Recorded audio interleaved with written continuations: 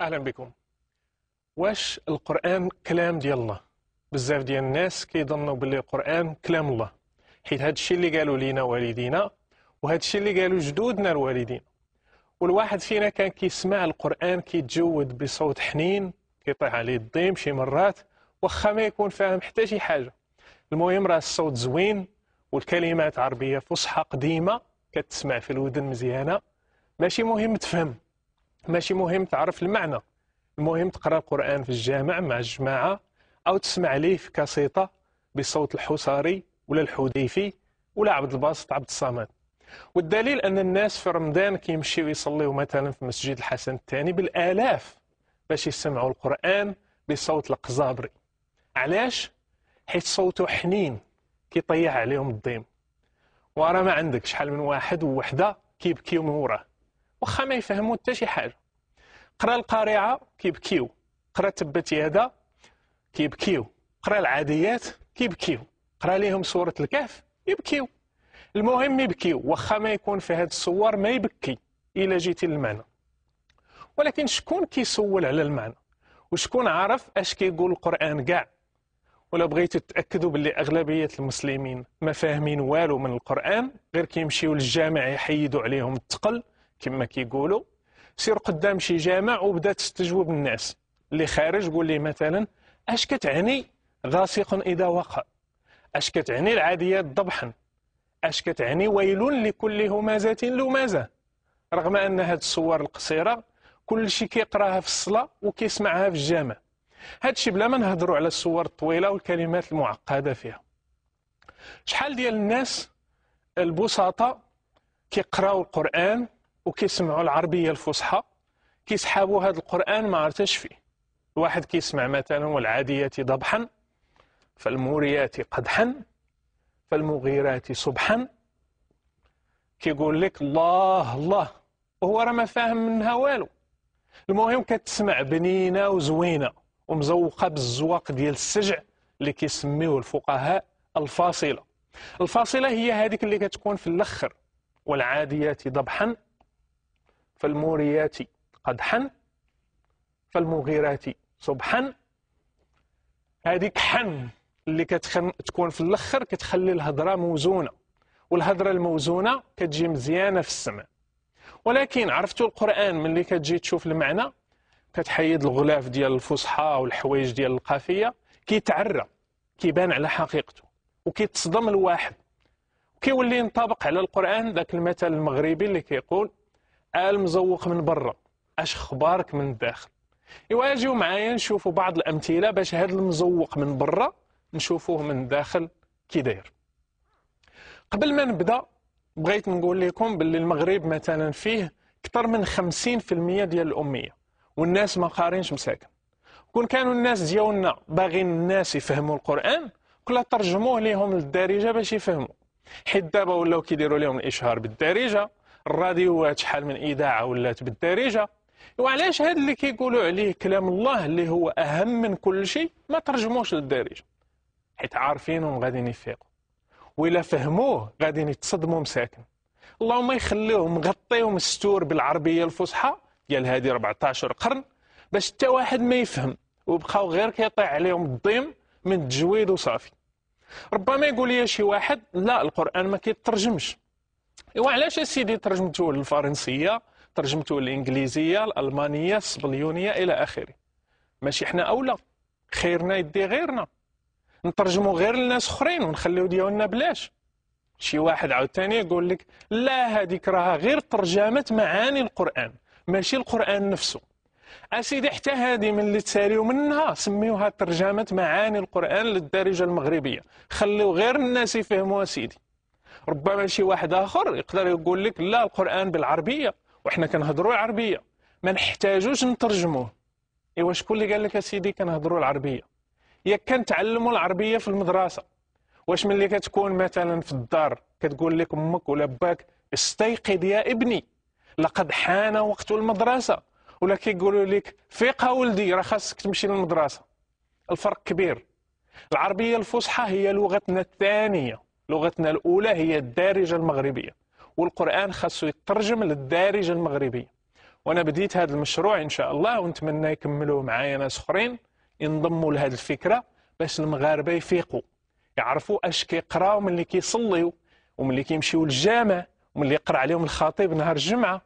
ولا فالحين غير نوريوهم نواقض الوضوء ويستنجاو باليسرية ماشي باليمنية وكيفاش يحيدوا الجنابة ونسينا المهم. أعوذ بالله السميع العليم من الشيطان الرجيم. بسم الله الرحمن الرحيم. الحمد لله رب العالمين. وصلى الله وسلم على سيدنا محمد النبي الأمين وعلى الصحابة الغر الميامين وعلى التابعين ومن تبعهم بإحسان إلى يوم الدين. اللهم يسر أمورنا واشرح صدورنا ونور قلوبنا واختم بالصالحات أعمالنا. اللهم لا تجعل فينا ولا منا ولا معنا شقي ولا محروما. آمين. آمين يا رب العالمين. لهذا واحد من الكفار سميتو الوليد بن المغيرة. هذا بان خالد بن الوليد بان هذا سمعوا بأنه مشى تصنت للرسول صلى الله عليه وسلم وتعجب في الكلام ديال القرآن تعجب فيه. هذا الوليد بن المغيرة من الكبار من الأعداء ديال الدين. اللي مات هو كافر بالله. فهذا جا تصنت هذه هي المروءة وهذه هي الشهامة. ماشي شي واحد اللي هو راه عارف الحق ولا هذه هي الشهامة. فحيت شاء قال له هذا الكلام ماشي ديال البشر هذا. هذا ماشي كلام ديال البشر. سمعوا عليه الكفار وقالوا القضية خطيرة. جاو لعندو تجمعوا قال ليه راه حنايا جمعنا لك فلوس باش نعطيوهم ليك. عندك تمشي تنطق شي كلام ولا شي حاجة مزيان في القرآن. قال تعرفوا بأن أنا عندي المال وسيد ربي قالها في القرآن. ذرني في سورة المدثر. ذرني ومن خلقت وحيدا. المراد به هو الوليد بن المغيرة ذرني ومن خلقت وحيدا وجعلت له مالا ممدودا وبنين شهودا ومهدت له تمهيدا. ثم يطمع أن أزيد كلا إنه كان لآياتنا عنيدا. غادي نجيو الآيات من بعد منها. عند حينها باش نذكروها لي من بعد. فأجبال راك دار كفار. الرسول هذا قال. لي شوف ما علمنا الشعر وما هذا بشعر وعلمنا السحر وما هذا بسحر وإن له لحلاوة وإن عليه لطلاوة وإن أعلاه لمثمر وإن أسفله لمغدق وإنه يعلو ولا يعلى عليه. قال لي عاود عاود الشيء اللي تقول راه خطير وقلب شي كلام اخر هذا شهادة حق من عند كافر عندما نطق دون أن يكون هناك العادة التقاليد القبلية وكذا وكذا وكذا. شو اش قال؟ هذا قال لك هذا ماشي كلام بشر. قال لي لا لا لا, لا عاود عاود. أنا فاش؟ نقول للناس ربي الحالة ديالو حيت جاو عنده قال لي قول إنه فكر وقدر فقتل كيف قدر ثم قتل كيف قدر ثم نظر ثم عبس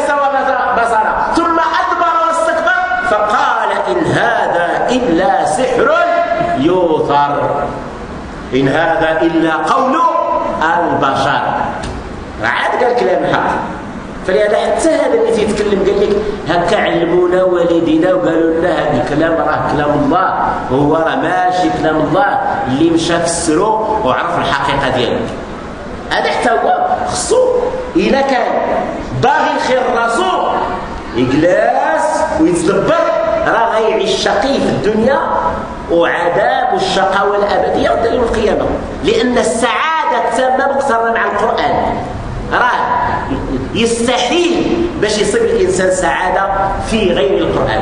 قال تعالى في محكم كتابه في سورة طه طه ما أنزلنا عليك القرآن لتشقى إلا تذكرة لمن يخشى. فالقرآن أنزله الله بواسطة جبريل عليه السلام أمين الوحي على الرسول صلى الله عليه وسلم لتسعد البشرية. يا كل آلة تسمع شي صانع تيدير معها الدليل لتتسمى الكتالوج. ولله المثل الأعلى. هو اللي خلق هذا الكون هو اللي خلق هذا الإنسان هو اللي خلق هذه المخلوقات. دير مع الدليل ديالها. هناك كون صامت وهناك كون ناطق. فالكون الناطق هو هذا الذي نعيش فيه والكون الصامت هو القرآن. فيه ها كيفاش تخلقات هذه ها كيفاش تخلقات هذه. الكفار قال لك داو العلماء لا اللي قدام ولا دابا ولا اللي غادي يجيو كيفاش الأصل ديال هذا شي تيقول كذا وشي تيقول كذا. سيد ربي تربى في آية قرآنية.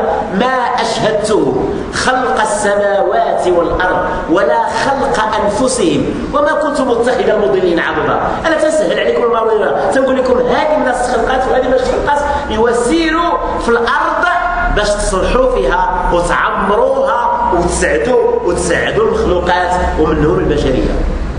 فلهذا هنا نفهموا هذه المسألة هذه ديال القرآن معجز. فاحنا شفنا الإعجاز ديال القرآن. أن سيد ربي عجز البشريه حتى تقوم الساعة وأن القرآن كلام الله. وما يقولنا شي واحد راه كلام محمد صلى الله عليه وسلم ولا شي حاجة. لا لا. كلام الله.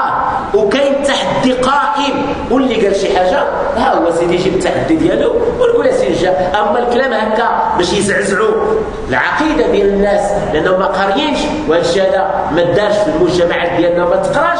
فاحنا تنحاولوا باش نوضحوا إن شاء الله. ويكون الكلام ديالنا بلسما لما في صدورنا وشفاء لما في قلوبنا. سبحان ربك رب العزة عما يصفون. وسلام على المرسلين والحمد لله رب العالمين. والسلام